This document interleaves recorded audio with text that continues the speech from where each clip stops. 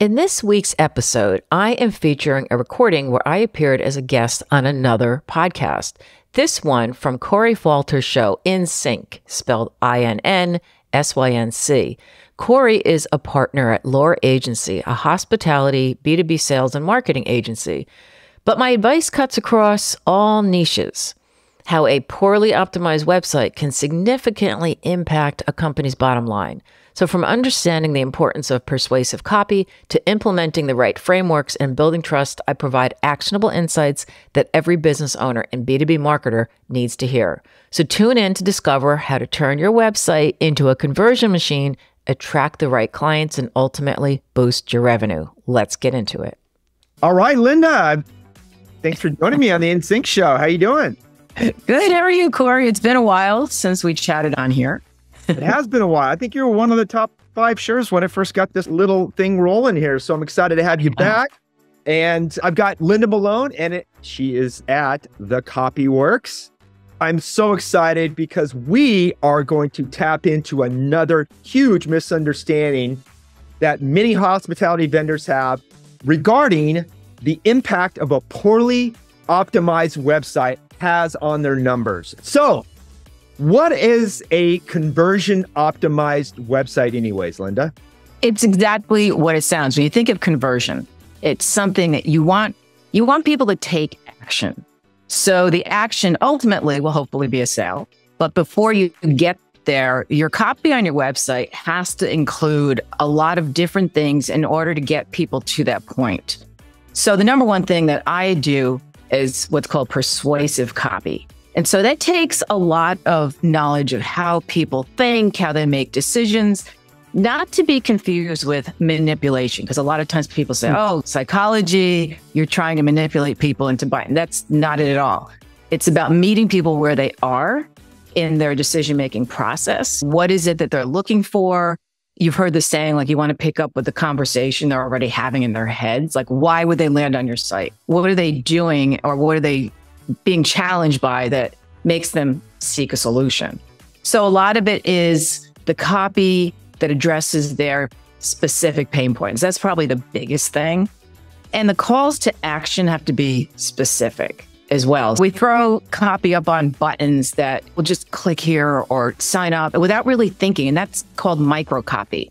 And in copywriting, conversion copywriting especially, that's where you really need to think about what the copy is that you what do you want that person to do? And are you asking them to do something too early which i see on a lot of sites? Like for example a button that says sign up when it's on the header and people don't even know what you offer yet. And a lot of times they'll click it just out of habit. Oh what is this? And then they land on a sales page and they say you know what? I'm not ready for this and they're gone. So those sorts of things you have to really look at every single word. And this is also i just recently had my own website redesigned it also has to do with the design of the site, of course. But the copy, which is my thing, of course, is is all about that. Getting them to know that you understand what they are going through and you have a solution and here's what you can do and here's some action you can take. You and I have worked on a couple of very successful projects together. I want to talk about with you a little bit more drill down is your problem agitate solution framework right on the homepage and the importance of the hook of addressing that right up front. So maybe you can expand a little bit more on why that is so important with B2B and not necessarily a B2, B2C or something of a more of a sizzle website that you would normally see with a say a hotel that's visually emotionally driven. There's a lot of pushback. It's funny because I just did a newsletter for my own subscribers on exactly this subject because there's a lot of debate. Do you start with the problem or do you start with the solution? And I found that there's an argument for each of them, but the one that's slightly higher is starting with the problem. And the reason is people are searching, they're they have a problem, they start looking for a solution, then they forget why they're even looking, or they'll land on a couple right. websites and think it's not really that bad. I'll just keep doing what I'm doing. Right. Because the easiest thing, the biggest obstacle you're going to be up against is the status quo.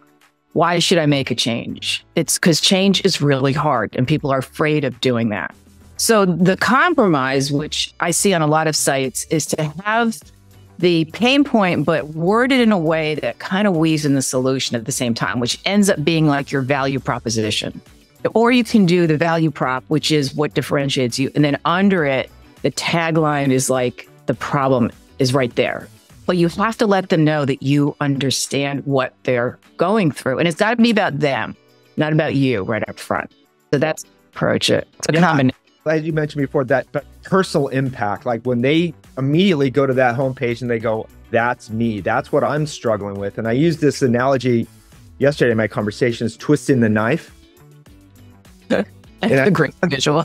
It sounds a little gruesome. It's it's that personal impact, and the more that you twist, the more that they can feel the pain right up front, and it's meant to hook them in and go, "Wow, that is interesting. I need to learn more." Because the further you get them down that page, the further down the funnel, and then that next section that you beautifully wrote is what the industry norm is and what they struggle with, and right below that is that payoff and immediately having those- three steps. I do that approach though of the value proper, at least in the hero section, those two complementing it, each other. Uh, Obviously, on our next project, maybe we can explore that a little bit further. Great breakdown. And then my second part, and it gets back to exactly what Sam Dunning and I were talking about on my last podcast this month, is the concept of EAT, right? Experience, expertise, trust, and authority. I'm assuming those are extremely important elements of the website as well. yeah, the biggest thing I think is building that trust. Especially now with all the AI and people are everyone's starting to sound like everyone's already been sounding like everyone else. And now it's even worse because the words are the same, the phrasing is the same. I recently worked with a client where I took their podcast and plugged it into there's a lot of sites you can get on now that say, is this AI generated?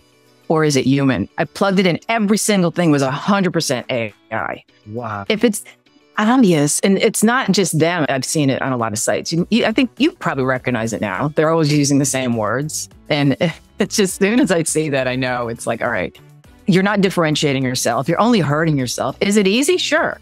Just plug and play. Oh we'll just get ai to write this. But especially in the hospitality industry you it's a people business. And whether it's b2b or b2c b2c informs B to B. So you need to know what your customers want so that you can address those on a different level. And if you don't know what their challenges are, you know, from there, it's its starting point, how are you going to create a messaging that impacts like uh, you on a B2B level that enables you to get customers on a B2B level?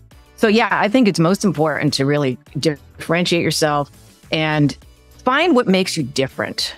This goes for any niche, but especially with the hospitality because there's so much that is the same. And I think people are afraid of sounding different. Oh, absolutely. And that's part of the, this industry has a lot of, they, as you mentioned before, change is hard. Oftentimes, they, we don't want to make change unless the pain of not making change is more than what the, the change can occur. And a lot of businesses have not done a great job, I think, of underscoring the pain of not making change. And so what happens is they wait for a big shift primarily at the brands or some other level to make that. And then they all turn and they run in that direction. It's like going to the trade show. This industry is obsessed with tra- in, in-person trade shows. They wait behind the scenes and then they all flood to the trade shows and every you go to the booths and it's overload and it's all feature dumping. It's hard really to figure out exactly what's going on. The landscape is so difficult to navigate. You need to differentiate yourself and, and position yourself as the only solution for a very acute pain that you have and not using terminology like e- elevating the guest experience or we're, we're going to revolutionize hospitality. That, Right. Those are very common terms in the industry. No one cares, No, and it doesn't mean anything. It's a generalization. right? Yeah. So I think Yeah. it's so important that your product or service in B2B immediately differentiates that or isolates that problem.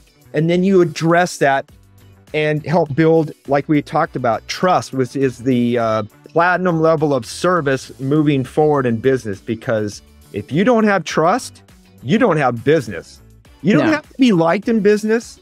That's a nice to have, but trust is a non negotiable. You don't have trust, you got nothing.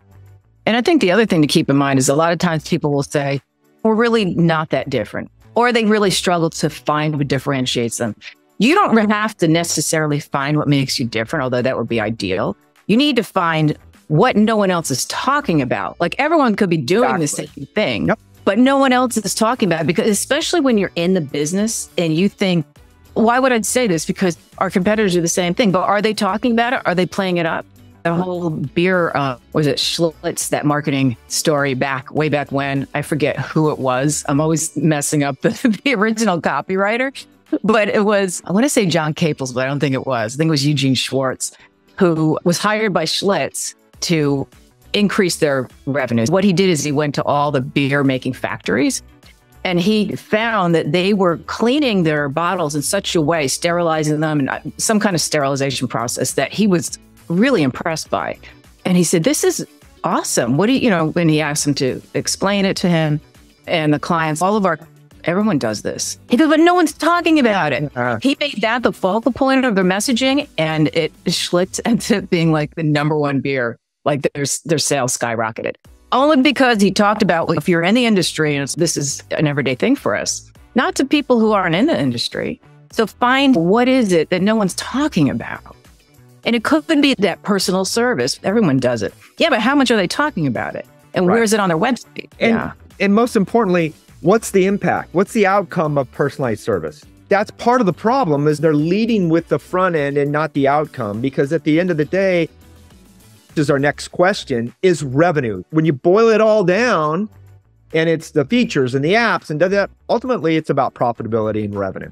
That, so right. that could be the end goal which is a great segue into my next question, by the way. You, you like how I did that? I'm getting back on. I'm getting back on my game here, Linda. Everybody wants to know what the impact is having on, say, a poorly optimized website is having on their bottom line. So maybe you can share that with us. When I do research on these sorts of stats, there's so many different factors. In general, not only do you have the increased sales, but you also have from a fully optimized website is lower customer acquisition costs. They're getting more bang, like for ads, for example, and promotions, you get better results because when they get to your site, especially when, say, for example, there's an ad on LinkedIn or Facebook or whatever, and they already know about your product or service and they know they want it. So they come to your site. But yet, in order to get to the page where they t- can take action, they have to go through and figure out where it is. That's a poorly optimized site. You don't even know how much you're losing. Now, I had somebody on my own site. What made me change my own site was because somebody said I tried to to order something. It was a uh, audit on a website audit, and your links didn't work. And I lost that business. And it's I don't know how many people have done that where I wouldn't know. So a lot of it is you don't even know. Part of it is the website, the structure, the formatting. It should be fast, obviously, and smooth. But the whole idea of having copy that's optimized is to meet them where they are. So your homepage is going to collect everyone. They can be coming from a search engine. They come, could be coming from an ad. It's the hardest page to write because you have to hit all those different levels of awareness. And so a landing page would be ideal and more appropriate for an ad. So you place an ad and you make sure the link doesn't go to your homepage, but it goes to a landing page that specifically talks about what they just, the ad they just left so that they're not confused. Okay, here's a solution. Yeah, I'm going to, you know, book a call or whatever it is. So it's better customer retention, just overall value, and just the improved brand perception. They're going to have a better feel if you go to your site and it's not working right or something's confusing. They're not going to tell you, they're not going to email you and say, hey, your site's confusing. We're just going to leave. And right. there's enough competition. So it's the bounce rates, reduces that my post today was I'm not sure if you saw it, but I did a video of the concept of 96% of what was sales is now marketing. Oh, okay. No, I didn't see it yet. And that's that notion of getting back to they ask you answer. And that because of the pandemic and our buyer decisions, I do the same thing is we want to control the sales process now. I want to go online. I want to do my search. I want to educate myself. The website should do 96% of the sales process. So I feel comfortable and then reaching out to sales. A lot of hospitality companies have not figured this out yet. And it's frustrating them because they're trying to use cold outreach to get in touch with their prospects when they themselves are, I don't want to hear from sales. I don't, mm-hmm. I want to do that myself. And that is having an impact on the bottom line because the journey has changed so much. And the optimization of a website, they have not gotten that memo and they're still hiding pricing, not giving all the FAQs. Not, they've got a thin website that does not include video or blog articles. Getting back to that AI comment that we had, everything on it it needs that's going to ask all my questions. So then I feel comfortable in reaching out to sales on my accord, which is that 4%. That is a dramatic change in how B2B companies operate. That's huge. It's huge. And I, I know myself, I think one of the exceptions to that, though, would be when you want support, you don't want to deal with automation. I had been struggling, or just before this call. So I had a problem with Zoom. I get on the chat, hoping there's going to be an actual person, but of course not. I have options.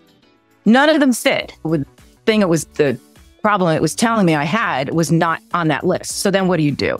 I can't talk to a person. I have four minutes to get on this call with you. And I'm like, oh my gosh. So you have to know there's a balance, especially when it comes, like I said, to hospitality. You want people that can talk to you that are not reading from a script too, that they they can actually help you.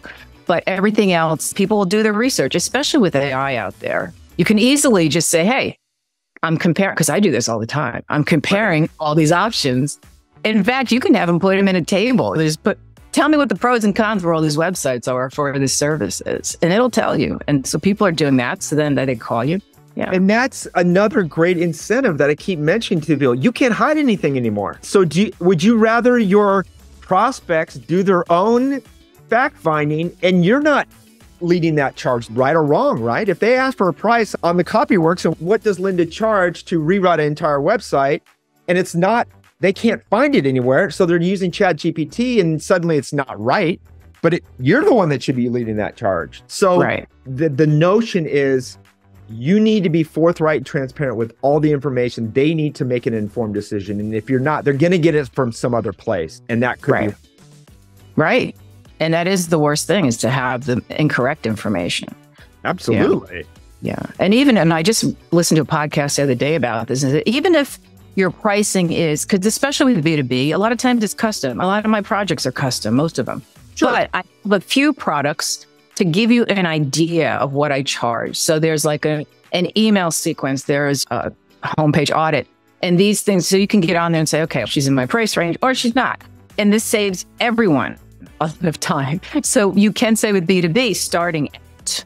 Exactly. I just responded to a comment on my post, and he had mentioned the concept of transparent pricing is great, but we've got very con- confusing configurations and things.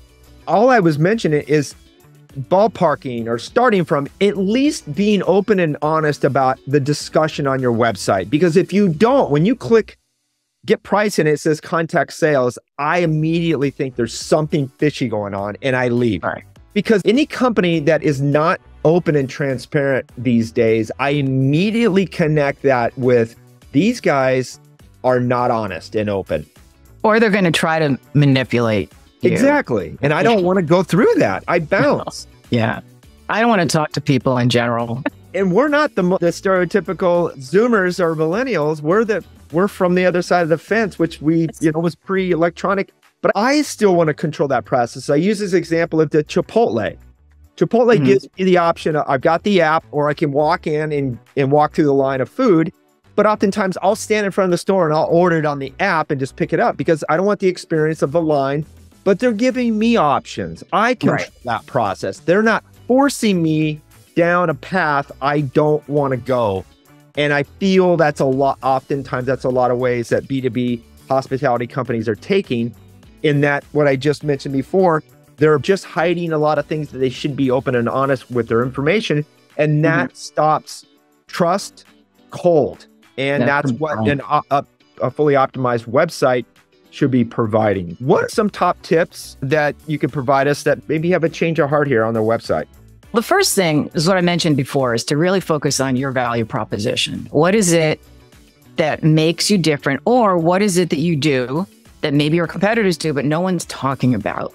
That is so huge because people will be shopping around and what they want is something that is unique. And if everyone sounds alike, then all you're going to do is compete on price or something else that you don't want to compete on. So that's number one is fine. What is your value proposition? And the way you find it is you talk to your customers, you talk to past customers. You you have to really dig in to find out and look at your analytics, take surveys. It's not a quick pro it's not people sitting around a boardroom throwing ideas out. Yeah, you really want to get that research. Uh, so it should be research oriented.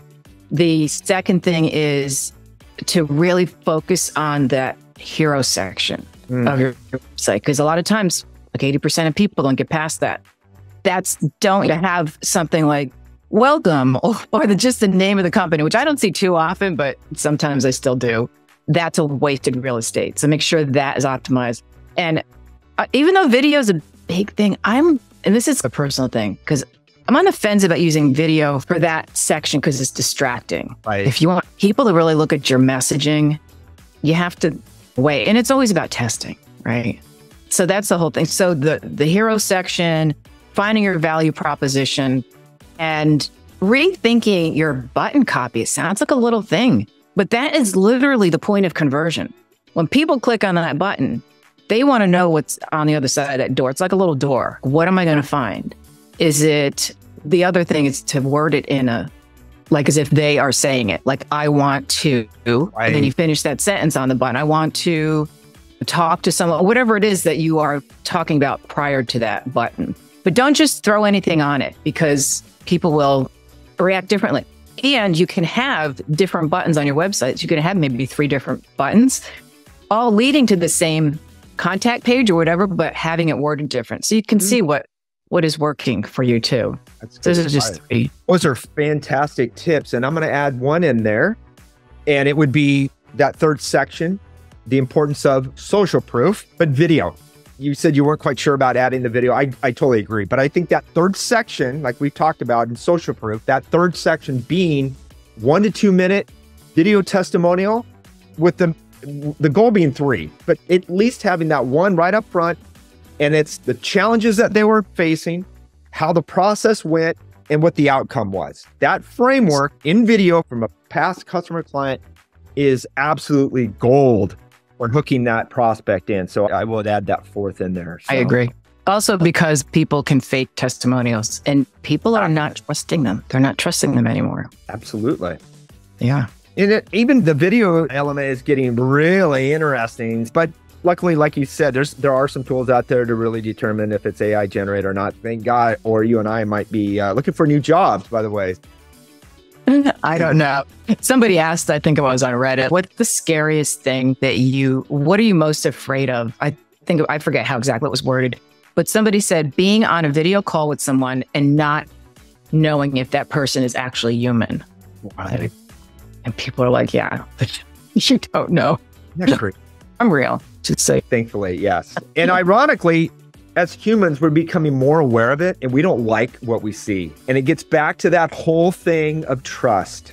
Trust mm-hmm. is going to be the most important thing that a business can have because it, as that adage is, trust takes years to build.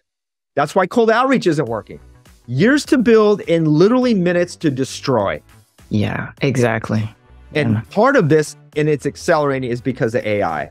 And as soon as you damage your reputation by saying, I'm this, but you're not, and you're using this, and, and people figure it out, you are done. And I, I tell people, please be very responsible.